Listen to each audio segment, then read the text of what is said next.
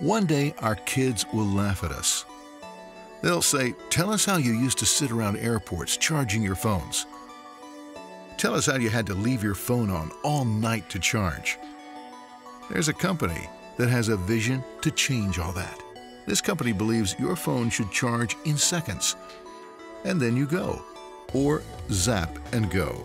Zap and Go believes that cordless appliances should perform as if they were plugged in.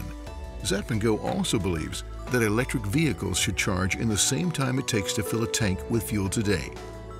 This is made possible by a fresh approach to energy storage.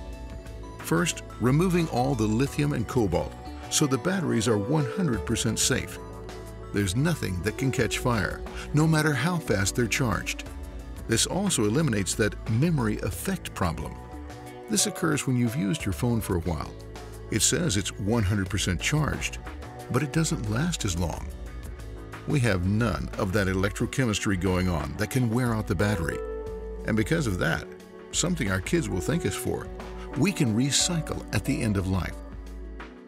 Zap and Go technology is real today including a ride-on where the charge time has been reduced from 8 hours to 5 minutes.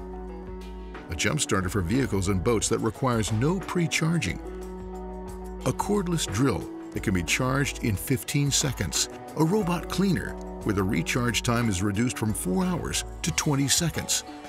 And Zap & Go is also developing a driverless vehicle that charges in just 35 seconds. Look us up.